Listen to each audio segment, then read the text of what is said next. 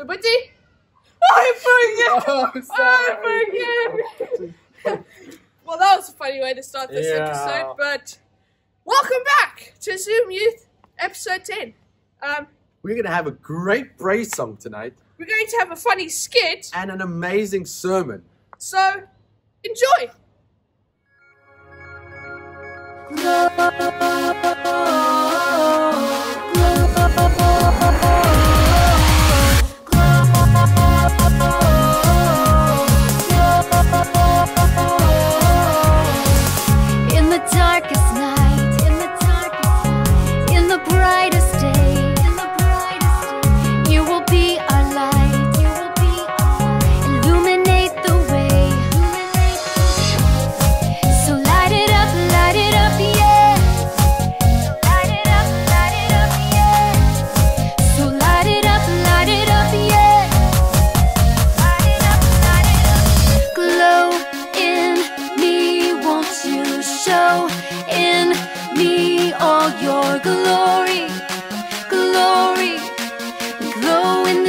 with your love in our hearts, yeah, glow.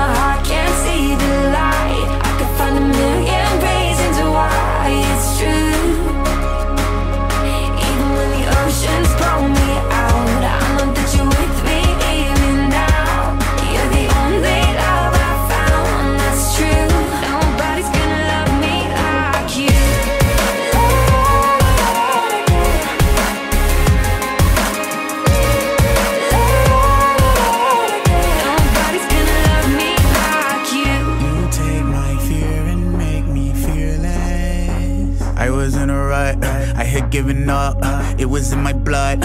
I would trade it off for shame when you give me love. I took your words and made a riddle with that. Then I cried a river and you went and built a bridge over that. Rainstorms, rainbow, you brought the skittles to that. You gave me love when I had Nobody's nuts. Yeah, simple as that.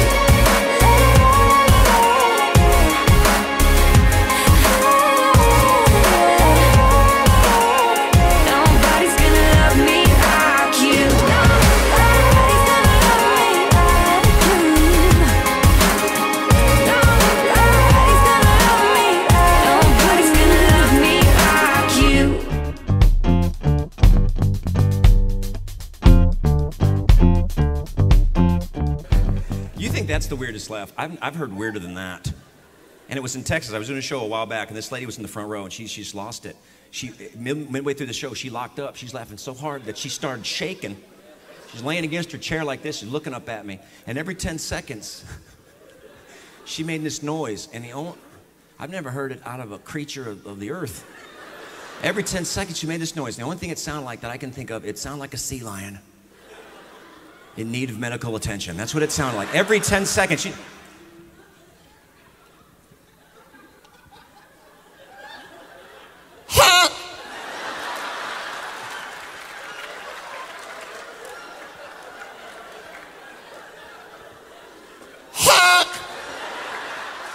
Every 10 seconds. I get halfway through a joke. Somebody throw her a beach ball. Give her something to do.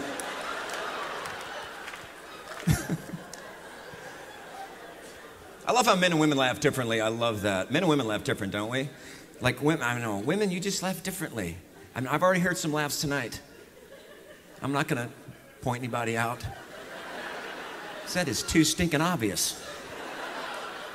But women do this. Women always sigh at the end of a laugh. Men don't do that. When a woman's done laughing, they sigh. I guess to let us know you're done. They're like, that is true. I do that. I do. I do that.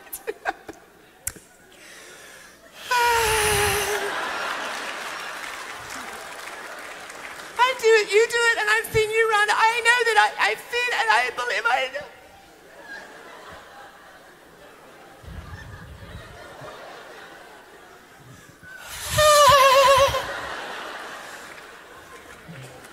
You will never hear a man do that. Like,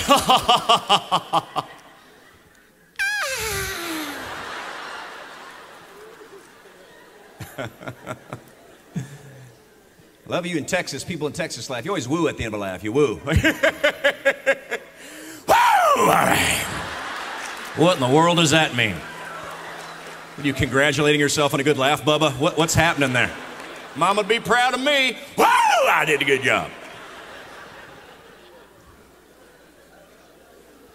Women always make the barnyard noises when you laugh. You ever notice that? It's always a woman because you hold in the air too long. By the time you let it out, you have no idea what's going to come out or go back in. We've all heard a woman do the go back in, haven't we?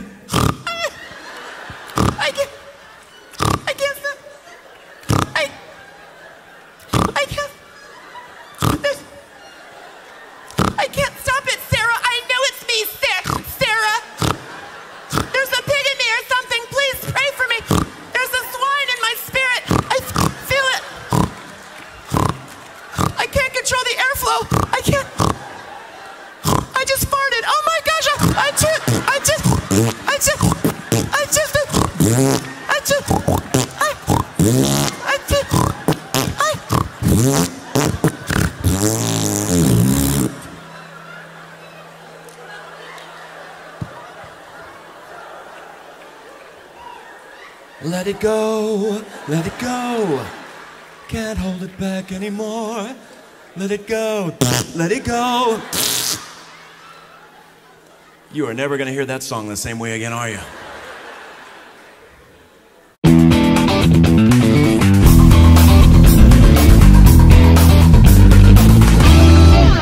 There's a lot of hand sanitizer in church. Anybody notice that? I don't know. At my church, they have these two hand sanitizer stations right by the front door greeters. That is not a good message. People come in on Sunday. How you doing? Nice to see y'all. It's good to see you. Thanks for coming. You're gonna love it here. We just love people. You can just be yourself. You can just be yourself. We don't care. We don't judge you. We just love. You sit back and whatever questions you have, you let us know. We'll let you know whatever we can do for you, okay? Y'all newly married, you got four kids? Four kids. That is amazing. God love we love kids here. Kids are like a little gift from God, is what they are. They are just wonderful little creatures that God gives us. Mm-hmm. Yeah, where y'all from? Arkansas? Okay.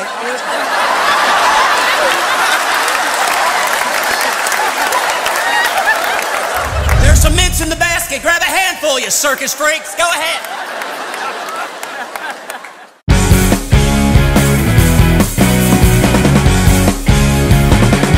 But it's true. I mean, I got, th- I got three boys and a girl. Boys and girls are totally different. My boys are just violent. Girls are just dance, dance everywhere. Make a bowl of cereal. They're adorable. Boys are violent, man. Even when a boy likes a girl, he's violent. You ever see a little boy at a public pool? He likes a girl, he's like dunking her under, sticking her head in the filter. Oh, yeah. You are the one for me, sweetie. you ever see a little boy smitten with a girl? It's hilarious. He's like, look at her, she's amazing. I must have her in my life. She is my day, she is my night, she is my flower. I must prove my love for her, to have her forever. So, with all my heart and with all my soul and with all my might, I shall throw this rock at her. And as the blood trickles down her temple, she will know the depths of my affection. If she survives, we will be wed. Go. Find your mark, little pebble. Find your mark.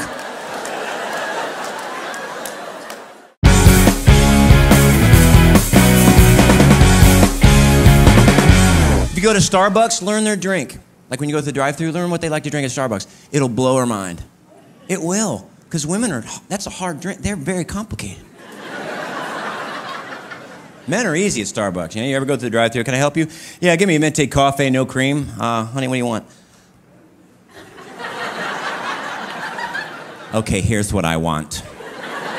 Listen, listen, this is what I want. I want a tall, skinny, sugar-free, decaf, soy, vanilla latte, extra hot, whipped cream, double sleeve, no cup.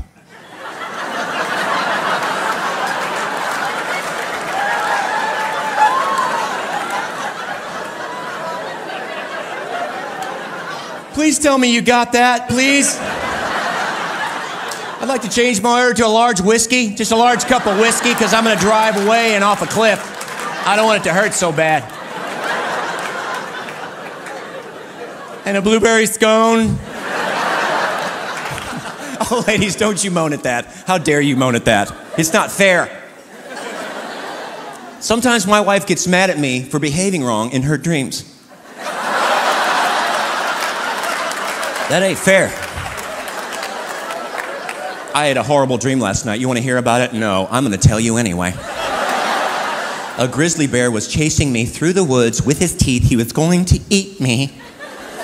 And you did nothing.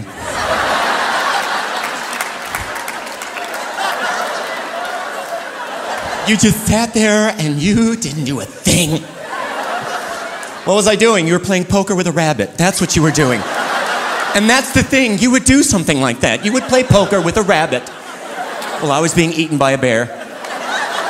Luckily, a giant unicorn came and saved me with his laser horn. That's how I saved, not by you.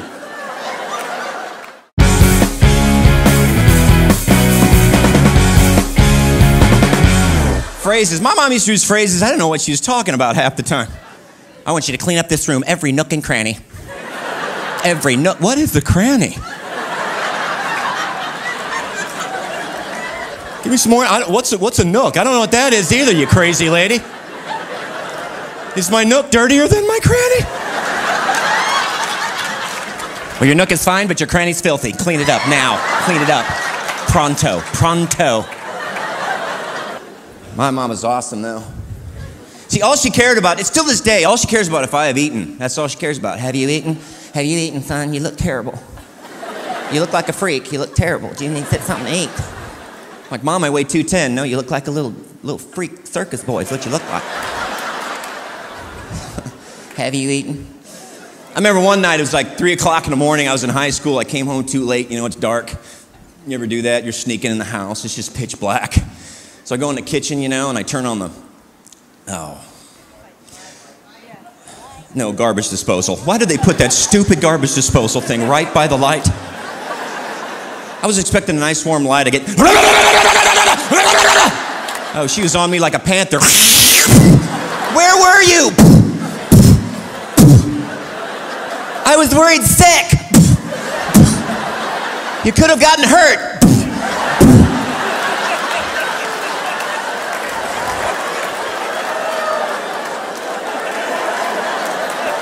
Have you eaten? Have you eaten?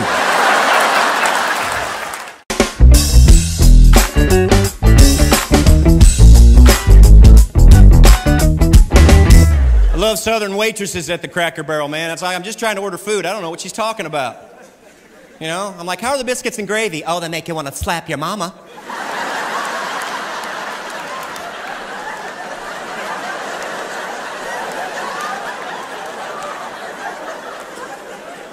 Then I don't think I'm going to get the biscuits and gravy.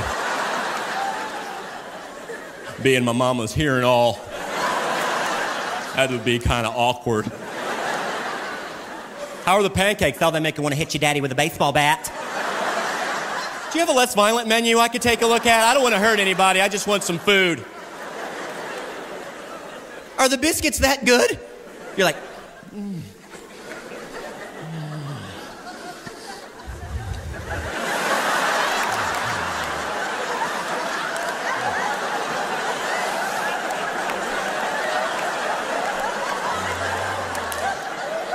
Mama, you might want to go out in the car for a while.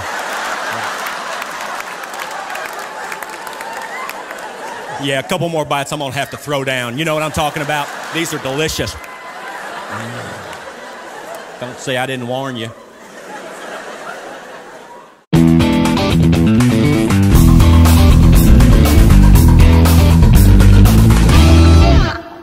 People just aren't nice anymore. They're not at all, you know?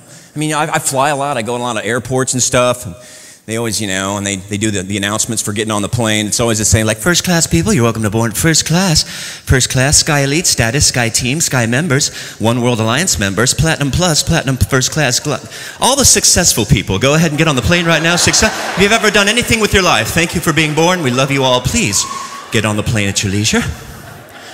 We'd like to continue boarding with the unwashed masses. The unwashed masses. All you gypsies, tramps, and thieves, it's your turn to put your shoes on and grab whatever you travel with. Grab your chickens and your milk crates. It's your turn to get on. That's us, honey. We're gonna fly in the air. We're gonna go up real high. Well, here's another praise song. Let me show you how to do some dance moves. My friends, that is the worst.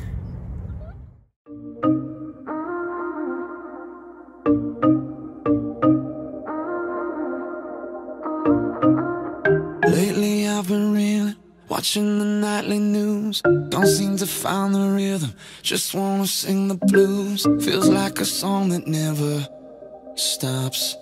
Feels like it's never gonna. Gotta get that fire, fire back in my bones. Before my heart, heart turns into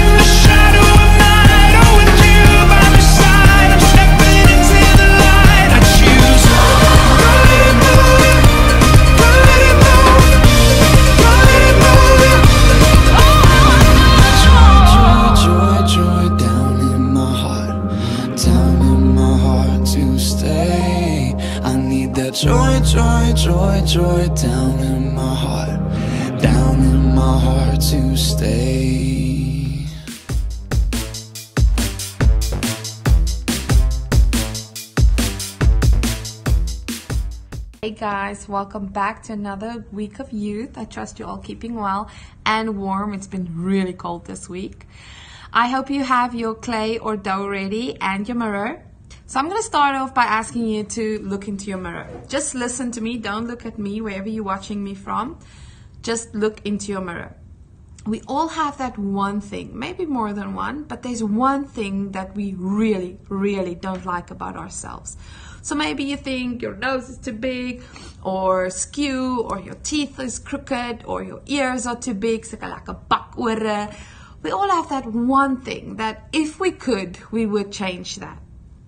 So now I want you to take your clay or your dough, whatever you have, and try and make a new one. See if you can create a perfect little nose or a perfectly shaped ear. I want to see you do that. So you can play around with the dough while I speak. Try to do that and send me some photos afterwards. I want to see your masterpiece. Okay. So I think you'll see when you're done, not, I don't think you'll ever be done, but you will realize that it's a lot harder than you think. I'm pretty sure if God had to drop everything in our laps that we need to create a human, it would be a disaster, okay? If we get a lot of flesh and bones and skin and God says, go ahead and create it, it would be an absolute disaster. Let's just be honest about that. So now after you realize that it's a lot harder than it seems, look in yourself in the mirror again. Look really, really hard. Now stare at that one thing that you despise. Stare at that crooked nose or big ears and stare at it. And listen to what I'm about to say next. God looks at you, he sees Jesus. Okay, focus back on me. His love for you doesn't depend on your looks or your actions or anything other than his he's absolute he he just he loves us because he loves us. But I'll get into scripture in just a minute. Do you think that he's ashamed of your mistakes or your failures? Well, you might be ashamed of it, but God is not. And um, when Jesus died on the cross, he paid the price. And because his love was shed for you and me, God now sees you in Christ. You need to get that. God sees you in Christ. He doesn't see your mistakes and failures. And okay, now grab a pen and write this down because as usual I have a ton of scriptures. So I'm going to start with 1 Samuel 16 verse 7. And it says, But the Lord said to Samuel, Do not consider his appearance or his height, for I have rejected him. The Lord does not look at the things a man looks at. Man looks at the outward appearance, but the Lord looks at your heart. So you are staring at your outward appearance and thinking, I want to change my nose, I want to change my ears, or whatever it was that you wanted to change. But God doesn't see that. He sees your heart. And um, Why? He sees your heart because 2 Corinthians 5, verse 17 says, Therefore, if anyone is in Christ, he is a new creation. The old has gone and the new has come. God has made you a new creation. But now, with all our imperfections and our mistakes and our flaws and blah blah blah, why do you think would you be good enough for God to make you a new creation in him? Well, the word has the answer. First Peter 2 verse 9, let me just get there. First Peter 2 verse 9 says, But you are a chosen people, a royal priesthood, a holy nation, a people belonging to God, that you may declare the praises of him who called you out of darkness and into his wonderful light. But why were you good enough to be chosen by God? You know, us humans, we always ask, but why, but why, but why? So I'm going to answer all your but whys tonight. So in 1 Corinthians, 1 Corinthians 3, verse 16, it says, Don't you know that you yourselves are God's temple and that God's Spirit lives within you? Okay, so now we know that we were chosen because we are a royal priesthood and God lives, the Spirit of God lives in us. We are His temple. But again, why you? Why me? Why would God choose us to be His temples? Well, God answers that in Ephesians 1, verse 4 to 5. He says, For He chose us in him before the creation of the world to be holy and blameless in his sight. In love, he predestined us to be adopted as his sons and daughters through Jesus Christ, in accordance with his pleasure and will. So the day that you said yes to Jesus, you were adopted as his sons and daughters. You were made new in him. God chose you before the creation of the world. The word says that. And it's not because we did anything to deserve that. I mean, we're full of sin. We we're humans. We have a sinful nature. Unfortunately, it happened many, many years ago, but that is what it is the best we can do is live according to the will of God. We we have to strive to be like Jesus. But even though we have mistakes, we have sins, we have faults, God says that we are adopted. The day you said yes to Jesus, you were adopted as his son and his daughter. And it's only because of his grace and his love. We didn't do anything to deserve it. Now, I want you to look into the mirror again look really, really, really hard. Now stare at that very thing that you wanted to change. Stare at that big nose or those bakore or whatever it was. Stare at it. And while you're staring at this, I want you to declare this out loud for the world to hear. When God looks at me, he sees Jesus. Say that out loud for everyone to hear. When God looks at me, he sees Jesus. So now you know that you don't have to change anything. God loves you the way you are. You are perfectly created in His image, and God loves you unconditionally. I want you to go read those scriptures, go study them. There's a lot more. I'll send them on the group. But I want you to know that God loves you unconditionally. Try and change your nose, see if you can do a better job. But we all well, i sucked at it when i tried so maybe if you can make a perfect nose or ears please send us the photos. But know that god loves you unconditionally because he looks at your heart and you were created in his image. Go study the word and knows that know that nothing you do can separate you from the love of god. He loves you with all your imperfections because to him you are his son you are his daughter and when you said yes, you were adopted into his bloodline. So know that no matter what, God loves you. Okay, guys, enjoy the rest of your week. Stay blessed.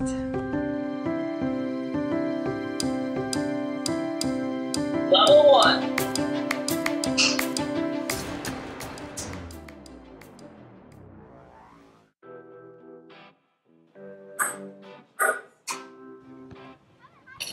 I was born to win. As the levels get higher, the trick shots get harder. I was born to win. Tall hoop. I was born to win.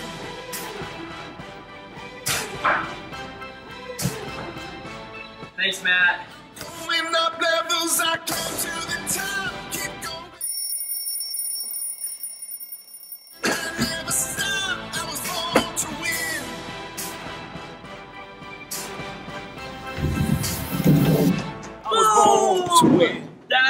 Crazy.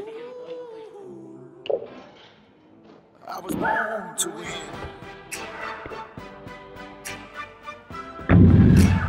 This is my legacy. This is my moment to I've got my target, I've got my paddle, and this is level 65. I was born to win. Guys, I have no idea if that went in.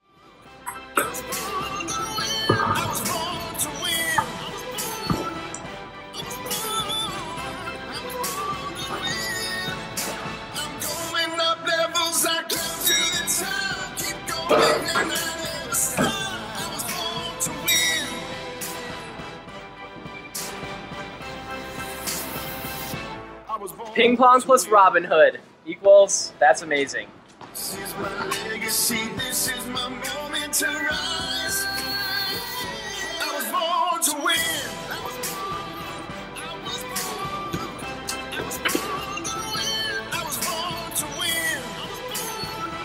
Over the house frisbee shot. Oh,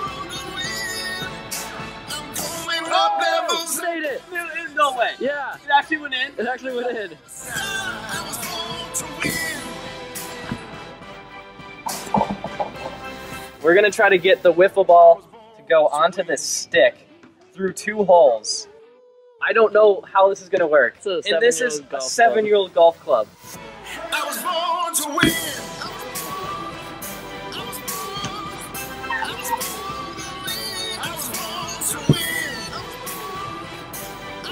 It is, guys. I cannot believe I made this.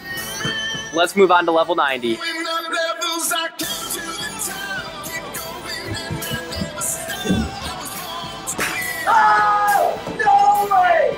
I was born to win. I was born to win.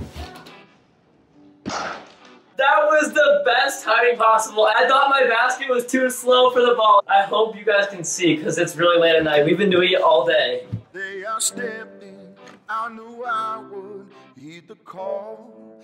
I was there Oh, it's right on top of it. for glory. Oh! Rise above oh! it. Now that I've got the boomerang down, it's time for level 90. There are three little holes in a boomerang. Smaller than a bullseye. The plan is to throw a dart through one of these circles, but it's got to be moving and spinning. I was born to win. Oh, what? Oh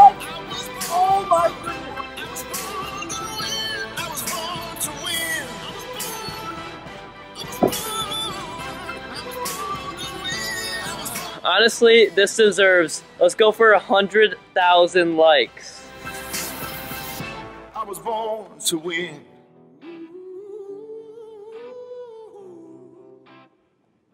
I was born to win. Level 95 is complete, and it's time to go to level 100. To win.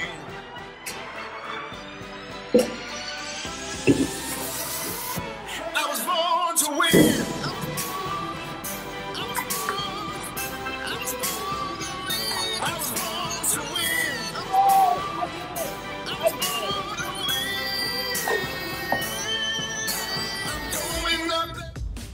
Those trick shots were insane, but I know I can do level 45. I don't know about you, but please send in your videos so that we can see who's this week's winners.